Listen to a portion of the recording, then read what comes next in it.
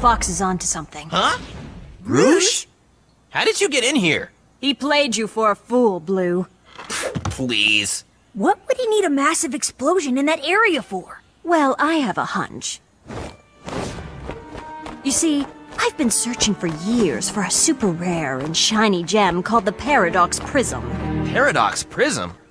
Legend speaks of untold power, and it's buried deep within the Green Hill bedrock. My guess is that he used your power against you to try to find it. Fascinating. But what I really want to know is, how did you get in here? You left the door open.